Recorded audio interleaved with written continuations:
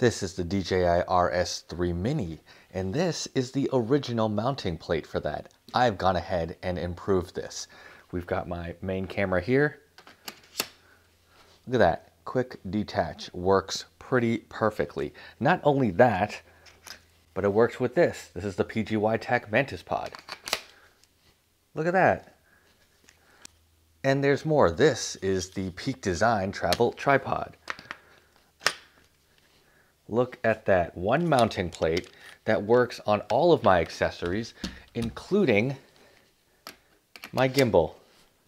What a world. To see how I did this, check out the new YouTube video on my channel now.